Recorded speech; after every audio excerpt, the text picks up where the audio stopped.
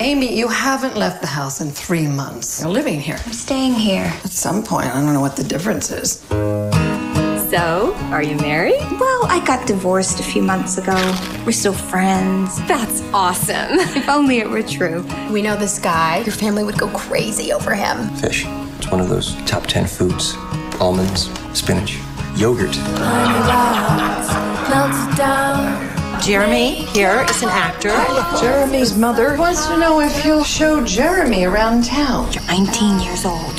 Sweet ride. Thanks.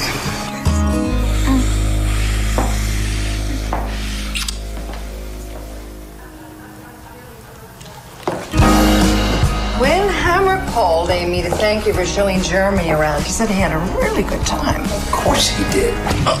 Amy!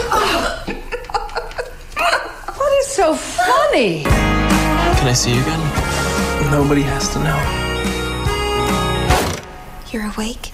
I'm always awake. Are you seeing someone? What? Mom said she thought you might be. You just look sexy, is all. This whole thing just got out of hand. You just do whatever they want you to do. It is so pathetic. And you're supposed to be the adult in this relationship.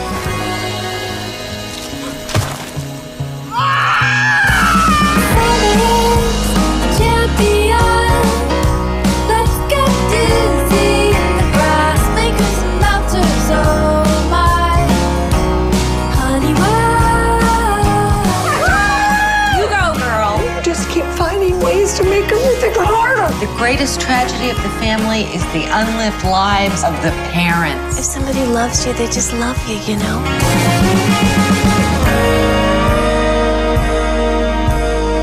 I, I'm just, um, looking. Somebody's mom's here. Yo! Somebody's mom's here. No, sorry, it's the wrong house.